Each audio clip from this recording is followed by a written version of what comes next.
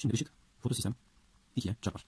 Fotosistem 2'nin tepkime merkezindeki klorofil bu ışık enerjisine elektron verir. Klorofil yükseltgenir, elektron kaybeder. Fırlatılan bu il, elektron ilk alıcı molekül alır. İlk alıcı molekül elektronun sırasıyla plastokinon, stokron kompleksi ve plastosiyenin denilen bir dizi ETS elemanından geçir. Elektron bu her geçişinde enerjisini birlikte kaybederek ATP sentez aynı oksijen misolumunun ETS evresindeki gibi kemiozmotik hipotezle ADP'ye bir tane fosfat ekler. Ve buradan bir ATP üretir. Daha sonra bu elektron fotosistem 1'e gelir. Fotosistem bir tekrar elektron fırlatır. Yine ilk alıcı moleküle gelir. İlk alıcı molekül bu elektronu ferrodoksin denilen yeni bir ETS elemanına oradan NADP reduktaz denilen NADP reduktaz denilen bir e, enzime verir. Bu elektronu en son NADP alır ve sudan gelen hidrojeni alarak NADPH olarak indirgenir. Fotosistem elektron 2 bir daha gelmedi. Fotosistem diyor ki elektronu verin. Hemen suyu fotolize ediyoruz. Suyu fotolize ediyoruz. Suyun hemen protonlarına, elektronlarına ve oksijene ayırıyoruz. Oksijen atmosfere gidiyor. İşte fotosentez için için sudan geliyor. Elektron fotosistemin elektron açığını kapatıyor. Hidrojenler NADP tarafından tutuluyor. Şimdi bu fotosentezin ışığa bağımlı evresi. Şimdi ışıktan bağımsız evre. Bu üretilen NADPH'lar, ATP'ler geliyor. Işıktan bağımsız evre yani kalbin dönüşü. Şimdi burada CO2'yi alıyoruz. 6 tane riboz difosfat denilen 5 karbonlu moleküle bağlıyoruz. Karbondioksit riboz difosfatla bağlanıyor. 6 tane karbondioksit, 5 karbonlu 6 tane riboz difosfatla bağlanıyor. Bakın 30 karbon buradan geliyor. 6 karbon buradan, 36 karbon ne yapacağız? 12 tane 3 karbonlu PGA fosfoglisik asit molekülü var. Fosfoglisik asit bakın ışığa, ışığa bağımlı evrede üretilen 12 tane ATP'mizi burada feda ederiz. Ayrıca orada üretilen ışığa bağımlı evrede üretilen 12 tane NADPH'ımız burada yükseltgenir. Tekrar NADPH, NADPH hidrojen tutmaya gidiyor. PGA artı PGA değil, fosfoglisik aldehit. Yine 3 karbon. Bunun e, iki tanesinden bir glikoz yapıyoruz. İşte amacımız buydu. Bir tane glikoz yapmak. Bütün amacımız bir tane glikoz yapmak için. Bütün tanımın içinde. 12 tane PGA'lerin 3 karbonlu. 2 tane PGA'lesini alıyoruz. 6 karbonlu bir yani 3 karbonlu PGA. 2 tanesinden bir glikoz yapıyoruz. Diğer e, şey hiç okumuyoruz. Döngü devam ettirsin diye 10 tane PGA'liye dokunmuyoruz. Şurada bir 6 tane riboz monofosfat oluşuyor. Yine 5 karbonlu. Bakın 30 karbon devam ediyor. Şurada e, 6 tane ATP'mizi yine burada feda ediyoruz. Evet. Yani buna da Calvin döngüsü deniyor. Bu da ışıktan bağımsız evre. Merhaba arkadaşlar ben Ertuğrul Hoca. Az önce e, hızlandırılmış bir şekilde izlediğiniz kısım eskiden fotosentezin evrelerini o şekilde anlatırdık. Hatta devirli devirsiz diye ışığa bağımlı evreye ayırırdık. Şimdi bakın e, Milli Eğitim'in kitabında bu olaylar çok azaltıldı, çok sadeleştirildi. Şimdi bu video sadece e, lütfen videoyu ileri alma. Bak bu video sadece fotosentezin evrelerini anlatacağım. Fotosentezin deneyleri, işte deneyli sorular, fotosentez etkileyen faktörler, fotosentezin reaksiyonlarının aydınlatılmasında öncü bilim insanlarının isimleri ve yaptığı deneyler falan bunlara geleceğim. Onlarla ilgili çalışmam devam ediyor. Bu video sadece fotosentezin evreleriyle alakalı. Bakın lafı hiç dolandırmayacağım. Gereksiz cümle sarfiyatı kullanmayacağım. Yaklaşık 25-30 soruyla bunlardan birkaç tanesi çıkmış soru. Ee, sürekli aynı şeyi sora sora, sürekli aynı şeyi çöze çöze her zamanki gibi yaptığımız gibi bunu kazıyacağız. Beynine işlemeye çalışacağız. Bakın tekrar ediyorum milli eğitim fotosentezin evrelerini çok sadeleştirdi. Şimdi ne bileceksin? İyi dinle. Ne bileceksin? Şunu bileceksin. Fotosentez ökaryot bir hücrede kloroplast organelinde gerçekleşiyor. Kloroplast organeli. Fotosentezin iki evresi var. Işığa bağımlı evre, ışıktan bağımsız evre. Işığa bağımlı evre kloroplastın granasında gerçekleşir. Tilakoid zarlarda. Şimdi ışık enerjisi klorofil tarafından tutulur.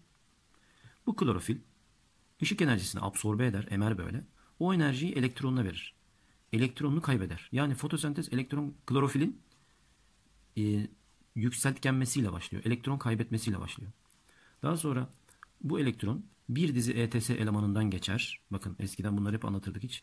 Sadece ETS görev alıyor. Ve buradan ATP üretilir. İşte biz buna fotofosforilasyon diyoruz. Çünkü ışık enerjisiyle olduğu için ATP üretme işine ne diyorduk? ATP videosunda söylemiştik. Fosforilasyon. Sonra en son elektronu sudan gelen hidrojenleri de alarak yeni bir elektron hidrojen tutucumuz var. Elektron proton tutucu. NADP. NADP fotosenteze özgü bir elektron tutucu. NADPH oluyor. NADPH ne oluyordu? İndirgeniyor. NADPH oluyor. Klorofilin elektron açığını gitti bir daha gelmedi ya klorofilin elektronu. Sudan karşılıyor. Suyu fotoliz ediyoruz. Suyu parçalıyoruz elektronlarına, protonlarına, oksijenine. Elektronu klorofile veriyoruz. Hidrojenleri NADP'ye tutuyor. Oksijeni atmosfere veriyoruz. Hani fotosentezde oksijen üretilir ya. O sudan geliyor işte. Yani ne bileceksin? Bak fotosentezin iki evresi var. Bir ışığa bağımlı evre. iki ışıktan bağımsız evre. Şimdi ona da geleceğiz. Işığa bağımlı evrede su kullanılır.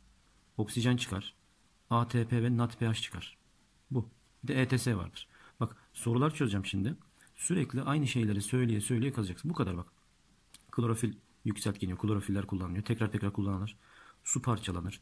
Oksijen üretilir. ATP ve NADPH üretilir. NADPH indirgenir ya da NADPH oluşu. Aynı şey. Bunları zaten sorularda sürekli söyleyerek bunları yine ezberleyeceksin. Şimdi demin ışığa bağımlı evrede üretilen ATP'ler, NADPH'lar var ya, işte Calvin'de kullanılıyor. Calvin döngüsünde. Bu Calvin döngüsü. ışıktan bağımsız reaksiyonlar ya da Calvin döngüsü. Bunu bulan adam Melvin Calvin diye. Onun isminin, soy isminden geliyor. Calvin döngüsü de denir. ışıktan bağımsız reaksiyonlar da denir. ATP'nin kullanıldığı, NADPH'ın e, yükseltgende ya da NADP'nin oluştuğu tekrar da diyebilir. Bunları yani ATP'yi, NADPH'ı kalbinde kullanıyoruz. CO2 kullanıyoruz bakın. Şimdi fotosentezde CO2 kullanılıyor değil mi? İşte bu CO2 kalbinde kullanılıyor. Besin burada üretiliyor. Şu PGL'den bir tane glikoz yapıyoruz mesela. Glikoz yapıyoruz. İşte burada ne bileceksin? Besinin üretildiği, CO2'nin kullanıldığı, ATP'lerin, NADPH'ların kullanıldığı evre Calvin döngüsü. Işıktan bağımsız evre. Burada bir sürü enzim görev alıyor. Takım halinde bir reaksiyon bu. Sadece bunları bil. Bak birazdan sorular çözeceğim göreceksin. Sadece bunları bil. Hep aynı şeyleri soracağım. Hep aynı şeyleri soran sorular buldum. Aynı şeyi çöze çöze çöze. Şimdi ışığa bağımlı evre neydi? Suyun kullanıldığı, oksijenin çıktığı, klorofilin elektron kaybederek yükseltkendiği, ışığın doğrudan kullanıldığı, granada gerçekleşiyor. ATP ve NADPH oluşuyor. Bir de ETS var. ETS sistemi görev alıyor. Bitti. Calvin'le CO2'nin kullanıldığı, besinin üretildiği. Bunları birazdan e, liste şeklinde veririz. Besin üretildiği, CO2'nin kullanıldığı, ATP ve NADPH'ın harcandığı onlar kullanılıyor. Evrede ışıktan bağımsız evre. Bu da kloroplastın stroma sıvısında oluyor. Birisi zarda oluyor, birisi sıvıda oluyor. Bu Calvin sıvıda. Bakın bu kadar. Yani nasıl yani hocam fotosentezin evreleri bu kadar mı? Şimdi soru mu çözeceğiz? Aynen öyle. Bak şimdi. Şu da kloroplast üstünde demin söylediklerimiz söylediğimiz şeyleri toparlıyor. Fotosentezin iki evresi var kardeşim. Işığa bağımlı evre, ışıktan bağımsız evre. Şuna Calvin döngüsü de deniyor. Fotosentezin ışığa bağımlı evresinde su kullanılıyor. Oksijen çıkıyor bak. Oksijen atmosfere. Sonra ATP ve NADPH'lar oluşuyor. Bunlar Calvin'e gidiyor. Bak Calvin'de tekrar NADPH Calvin'e gidiyor. NADP oluyor. Burada tekrar hidrojen tutuyor. Yine Calvin'e gidiyor. Bak ATP'yi ETS ile ışığa bağımlı evrede ATP üretiyoruz. Burada kullanılıyor. Sonra tekrar ADP ile fosfatı tekrar ışığa bağımlı evrede birleştirip ATP üretiyoruz. Tekrar burada harcanıyor besin yapmak için. Bu. Suyun kullanıldığı, oksijenin çıktığı. Bak demin birazdan çıkmış soru çözeceğim. Hep bunu bil yeter bak. Suyun kullanıldığı, oksijenin açığa çıktığı, ATP ve NADPH'ın ATP ve NADPH'ın oluştuğu evre ışığa bağımlı. Nerede gerçekleşiyor? Şu granalarda. Şu para gibi süslü olan var ya kloroplastta. İkinci evre ışıktan bağımsız evre stroma sıvısında oluyor. Sıvıda. Kloroplastın içindeki sıvıda. Bak besinin üretildiği, karbondioksitin kullanıldığı, ATP ve NADPH'ların harcandığı evrede Calvin döngüsü ya da ışıktan bağımsız evre. Bu kadar. Aynı şeyleri söylüyorum aslında. Sorularda da sürekli aynı şeyi söyleyeceğim. Bunu bu şekilde e, dediğim gibi yaklaşık 20-30 soruyla bunu artık ezberlemeye çalışacağız. Yani bizim kanalımızın amacı ne? Bunu birçok şeyde duyarsınız. Birçok yerde anlatılır bu. Bizim amacımız sorular üzerinden, matematik gibi.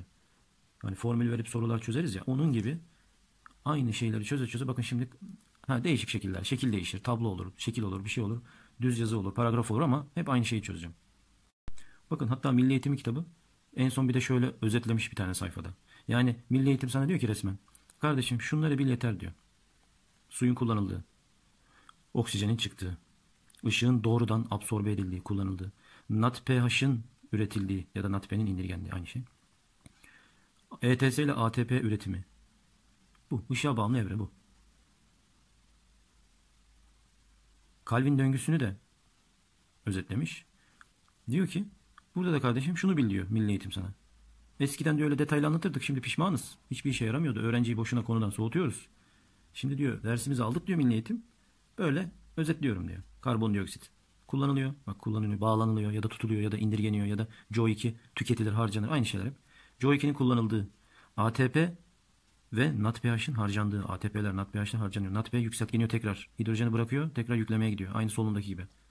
Işık enerjisine doğrudan ihtiyacımız yok ama dolaylı yoldan yine ışığa muhtacız. Niye?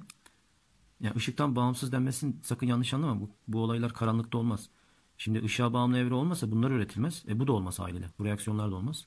Doğrudan bağlı değil ışığa. Ama ış, deminki ışığa bağımlı evre o suyun kullanıldığı ETS onlarla doğrudan ışığa muhtacız. Calvin döngüsü bu şekilde arkadaşlar. PGL'den glikoz yapıyoruz. Yani besinin üretildiği, CO2'nin kullanıldığı, ATP ve NADPH'ın harcandığı. Bak hep aynı şeyi söylüyorum. Calvin döngüsü. ışıktan bağımsız evre. Nerede olur? Stroma sıvısında. Bir de şunu söyleyeyim hemen sorulara geçeceğim. Bakın bu kadar basit. Ee, şu Calvin döngüsünde PGL denilen bir molekül var ya fosfoglisaldehit. Bu bizim kilit molekülümüz. Ama şekil gözünü korkutmasın. Bu şekil ne demek istiyor biliyor musun? Bak oklar falan gözünü korkutmasın dikkat et. Bu şekil şunu demek istiyor. PGL 3 karbonlu böyle karbon, hidrojen, oksijenden oluşan bir molekül. Basit 3 karbonlu bir molekül.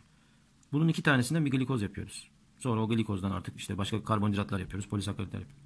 Eğer bir amino asit yapacaksan eee, azot lazım. Çünkü amino asitlerde CHO'ya ekstradan bir de azot var değil mi? Bazı vitaminlerde azot var. Eğer organik baz yapacaksan yine azot lazım. Yani çorbaya bir de azot karıştırman lazım. Yağlarda bazı steroid yapılı hormonlarda e, şey hormonları gibi. Bunlarda yine CHO var. Yine PGAL'den yapabilirsin. Yani yağları, karbonhidratları PGAL'den yapabilirsin direkt. Ama amino asit, bazı vitaminler, adenin, guanin, işte sitozin gibi organik bazları yapman için çorbaya bir de yani PGAL'ye bir de azot karıştırman lazım diyor. Bu kadar. Bu şekilde bunu anlatmak istiyor. Bu şekilde ben bir de şu yüzden çok önemsiyorum gençler. Ee, öğrenci hep ortaokul fen bilgisinden beri işte karbondioksit artı su, besin artı oksijen, işte glikoz. Glikoz artı oksijen yazarız değil mi? O fotosentezin denklemine. CO2 ve suyu glikoz yaparız işte oksijen çıkar. Öğrenci fotosentezde hep oksijen üretiliyor zanneder. Şey glikoz üretiliyor zanneder. Sakın bak. Ototrof, fotoototrof bir canlı. Yani fotosentez reaksiyonlarını yapan bir adam. Sakın sadece ve sadece glikoz yapmaz. Adam her şeyini kendi yapıyor. Her şeyini. Her şeyini ya hormonunu, adenin bazını, vitamin, amino asit her şeyini fotosentezde sadece glikoz üretilmez. Tamam? Fotosentezde sadece glikoz üretilmez. Bütün besinler üretilir.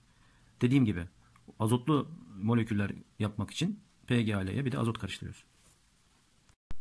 Gençler şimdi sorulara başlıyoruz. Bu e, video fotosentezin e, evreleriyle ilgili. Son kez ışığa bağımlı evre, ışıktan bağımsız evre. Işığa bağımlı evre granada, ışıktan bağımsız evre stromada. Işığa bağımlı evrede su kullanılıyor, oksijen üretiliyor, NADPH oluşuyor, ATP oluşuyor ETS ile, klorofil görev alıyor. Tamam mı? Bakın bu. Işıktan bağımsız evre besin üretiliyor. Sadece glikoz değil ama yanlış anlama. Karbondioksit kullanılıyor. Işıktan bağ ışığa bağımlı evrede üretilen ATP ve NADPH'lar burada kullanılıyor. Bu. Hadi şimdi sorulara başlayalım. Bu e, 2018 AYT sorusu. 2018 AYT. Şuraya da yazalım. E, çok çıkmış soru getirmedim. Bunun iki sebebi var arkadaşlar. Birincisi video uzamasın diye. Çünkü e, başka yayınlardan soru çözeceğim.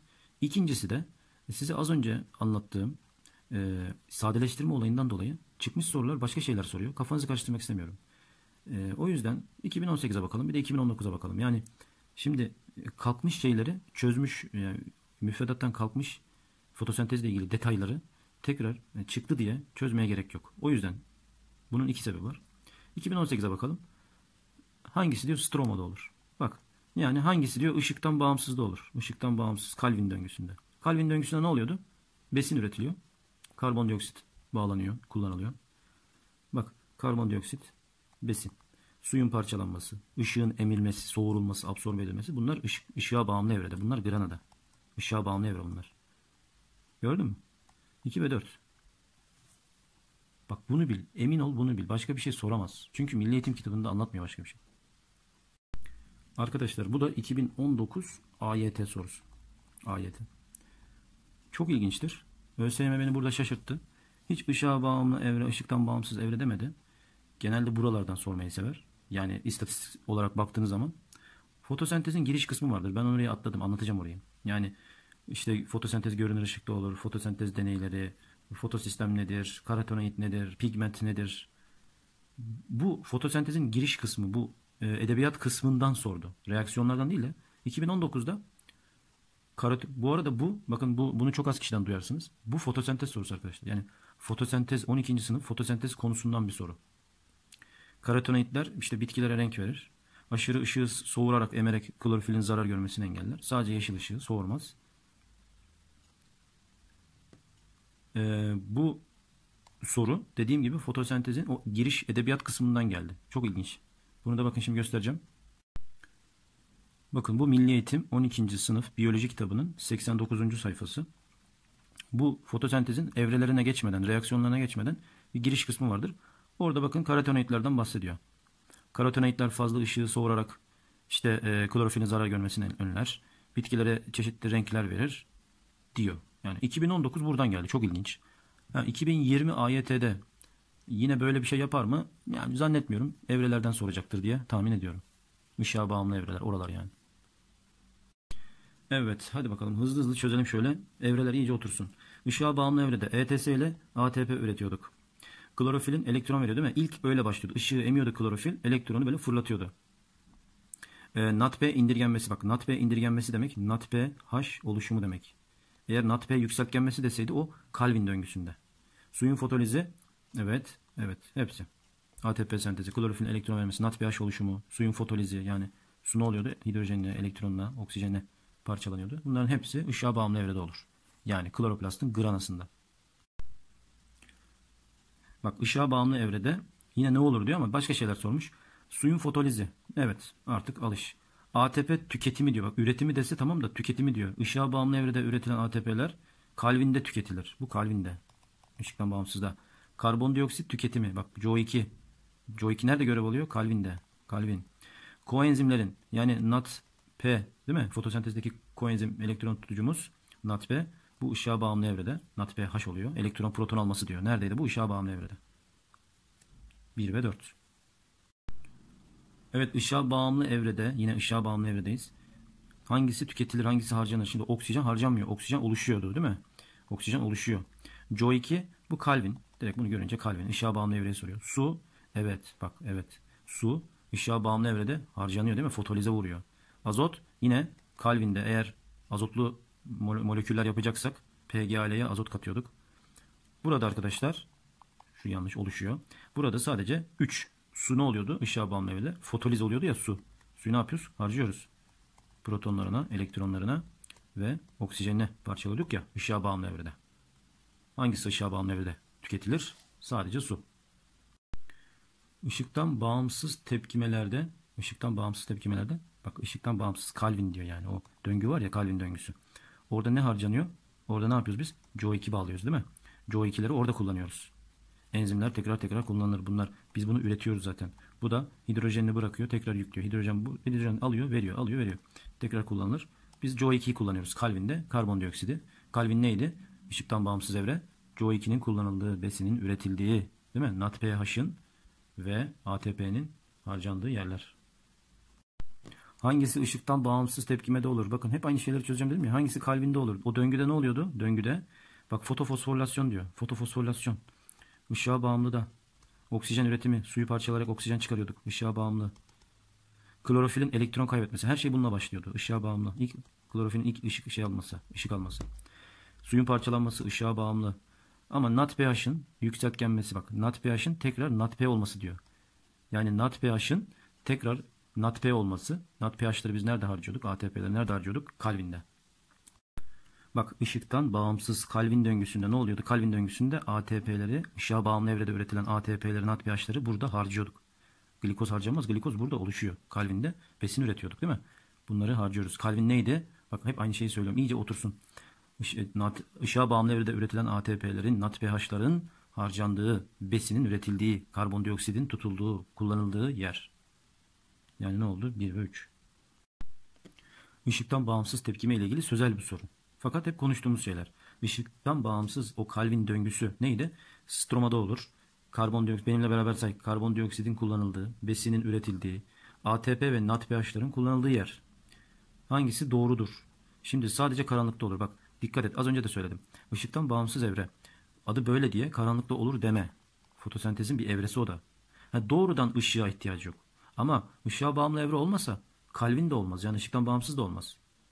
Çünkü ATP ve NADPH'ler ışıktan geliyor. Işığa bağımlı evreden geliyor. Granumda başlar, stromada olur. Hayır, sadece stromada gerçekleşir. Işığa bağımlı evrede üretilen ATP'ler, NADPH'ler kullanılır. Aha da bu. İşte bu. Işığa bağımlı evrede üretilen ATP'ler, NADPH'ler ışıktan bağımsız evrede kullanılıyor. Oksijen ve CO2 üretilir diyor.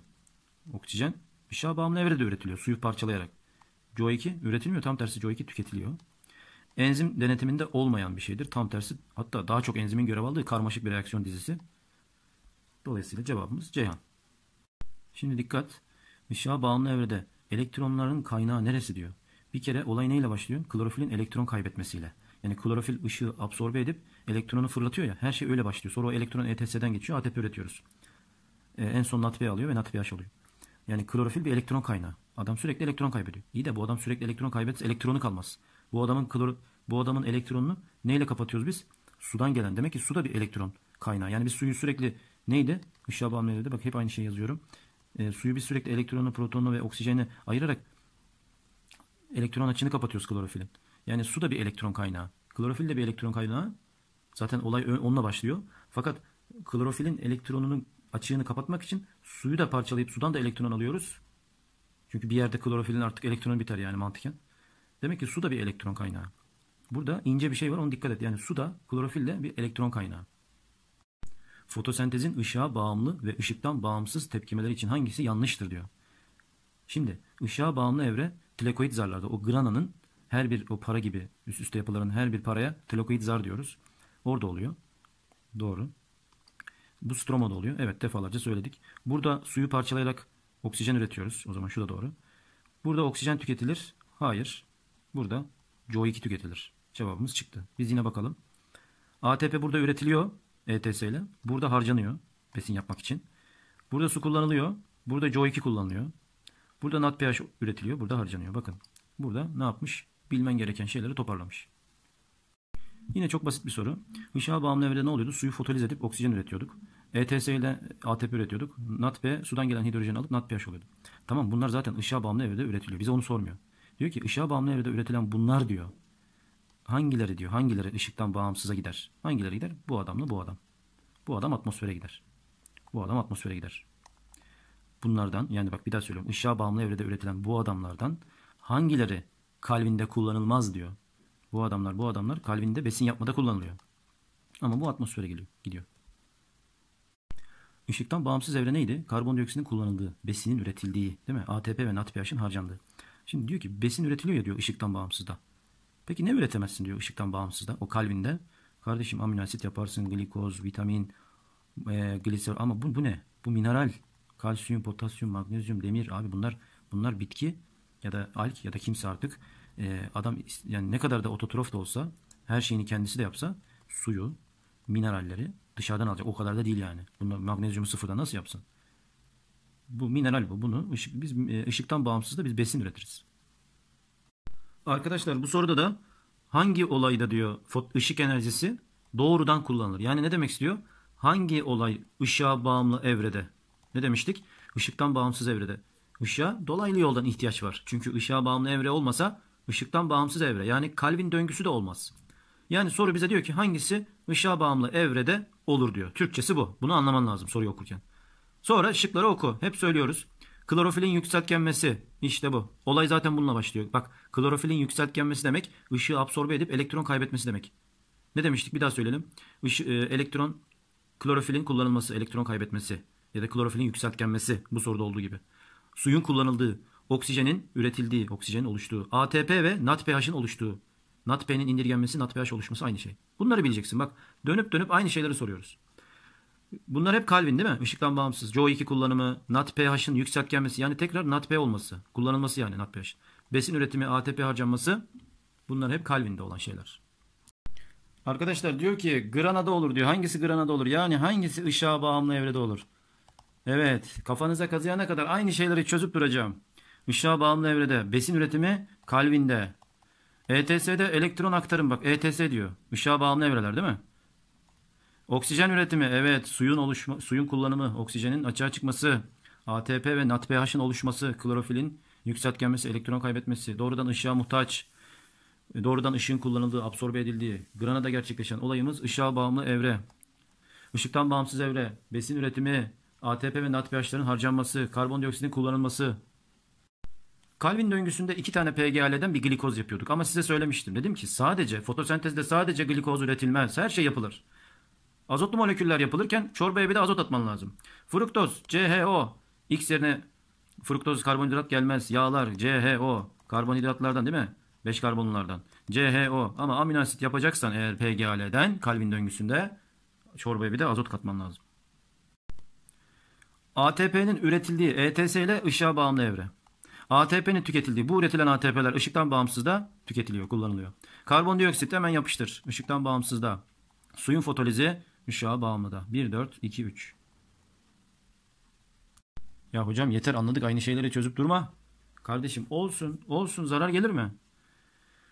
Işığa bağımlı reaksiyonlar. Bak CO2 kullanımı ışıktan bağımsız da yapıştır. ATP üretimi ETS ile ışığa bağımlı da yapıştır. Suyun fotolizi ışığa bağımlı da yapıştır. Besin üretimi ışıktan bağımsız da 2 3 1 4. Fotosentezin iki evresi vardır. Işığa bağımlı evre, ışıktan bağımsız evre. Işığa bağımlı evre kloroplastin granalarında olur. Değil mi? Işığa bağımlı evre burada olur. Işıktan bağımsız evre şu sıvı kısmında olur. Yani grananın geri kalan kısmında. Bu da Calvin burada oluyordu. Bir de klorofil vardır. Evet klorofiller ne oluyordu? Işığı absorbe edip elektron fırlatıyorlar. İki de besin sentezlenir. Calvin'de besin üretiliyordu. CO2 birde kullanılır diyor. Hayır CO2 Calvin'de kullanılır. Yalan. Glikozun üretildiği yer. Glikozun üretildiği yer. Hemen söyle bana. Artık sen söyle hadi. Işıktan bağımsız.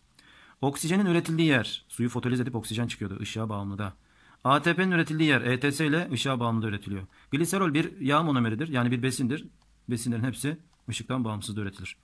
Burada amino asit diyebilir, vitamin diyebilir. Gliserol takılma yani. Glikoz, fruktoz, galaktoz, vitamin, organik baz, amino asit, her şey e, ışıktan bağımsız da üretiliyor. Kilit molekülü neydi? PGAL. Işığa bağımlı tepkimeler A kısmında gerçekleşir. A kısmı granalar. Işığa bağımlı tepkimeler granada oluyordu. Doğru söylüyor. Glikoz gibi organik besinler B'de olur. B neresi? Sıvı kısmı, stroma. Calvin burada oluyordu. E, glikoz da Calvin'de üretiliyor. Besinler o ışıktan bağımsız döngüde, Calvin döngüsünde üretiliyor. C çift zarlıdır. Bunu organellerden bilirsin. Kloroplast, mitokondri. Bunlar çift zarlı organeller. Hepsi doğru. Evet yeter herhalde değil mi? Şimdi şu güzel soruyla videomu bitiriyorum. Işık enerjisini kullanarak ATP üretme işi demek ki bu bir, demek ki bu bir ışığa bağımlı evre. Işığa bağımlı evre. Fotosentez yani. ATP kullanılarak besin yapmak. He, bu da o zaman Calvin döngüsü. Şimdi 1 ve 2 fotosentez. Bu ışığa bağımlı evre, bu ışıktan bağımsız evre. Şuraya bakarak böyle onu anlaman istiyor tamam mı? 3'e bakıyorsun. O ne şimdi? Glikozdan ATP. Hayda. Bu ne? Bu da bildiğin önceki videomuzda anlattığımız solunum. Bildiğin solunum. O, o ototrof yani organik besin ürettik. Onu şimdi kim, içindeki kimyasal enerjiyi çıkarıyoruz. Tam tersini yapıyoruz şimdi. Bu da solunum. Bildiğin solunum. 3 numaralı olay mitokondride olur. Farz edelim ki bu ökaryot bir hücre olsun ve oksijenli solunum olsun. Evet mitokondride olabilir. bir numaralı olayda fotofosforilasyon. Evet ışığa bağımlı evrede. Işığa, ışığı absorbe edip klorofilin elektron fırlatıp sonra o elektronun ETS'den geçmesiyle ATP üretme işine fotofosforilasyon diyoruz. Fosforilasyon neydi? ATP'ye üretme işiydi. Bunu ışıkla yaptığın için fotofosforilasyon. İki numaralı olayda CO2 kullanılır. Evet Calvin döngüsünde neydi? Hep söyledik. Video boyunca söyledik. Karbondioksitin kullanıldığı yer Calvin döngüsü. Yine hepsi doğru. Evet bu videoda fotosentezin ışığa bağımlı evresi ve ışıktan bağımsız evresini anlattım sadece. Milli eğitimin şekillerine bakarak 3-5 dakikada sadece ne bilmeniz gerektiğini söyledim. Sonra full aynı şeyleri çözüp durdum. E, fotosentez tabii bu kadar değil arkadaşlar. Pigment olayları, işte dalga boyları, fotosentezi etkileyen faktörler, grafikler, deneyler, deneyli sorular bunları anlatacağım. Ama siz şimdilik şu evreleri bir iyice öğrenin. Kendinize iyi bakın görüşürüz.